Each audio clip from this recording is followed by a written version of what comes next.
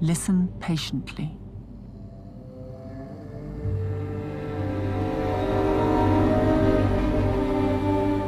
We, who are the last men, earnestly desire to communicate with you.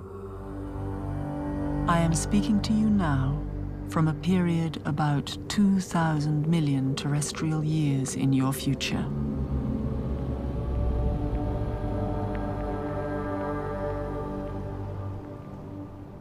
Astronomers have made a startling discovery, which assigns a speedy end to humankind.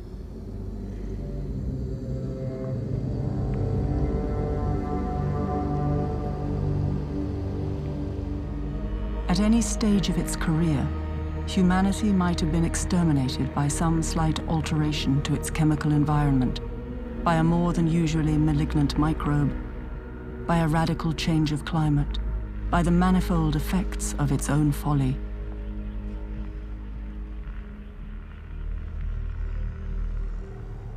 The past can help us learn once again that supreme achievement of the human spirit the loyalty to the forces of life embattled against death. We can help you, and we need your help.